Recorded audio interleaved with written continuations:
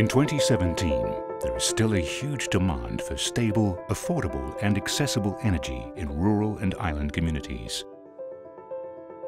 Together with other partners, NTU and GE are working to bring electricity to remote areas across ASEAN.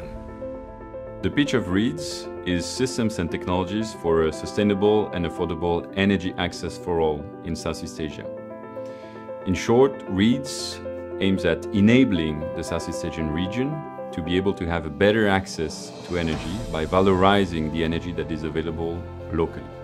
REIDS is an initiative developed by NTU and 15 industrial partners, including GE, to bring energy independence to remote areas across ASEAN using microgrid technologies.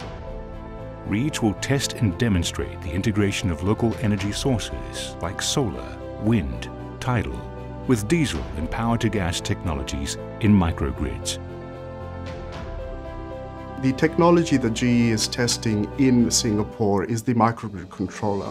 This is the very heart of the microgrid solution.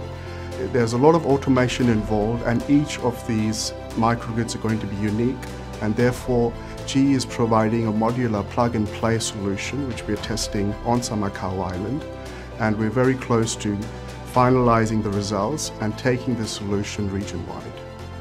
Microgrids lower the cost of electricity through better grid resiliency and energy efficiency. They also reduce CO2 emissions through the use of eco-friendly energy sources and reduce outages to provide 100% energy for day-to-day -day activities during emergencies and natural disasters.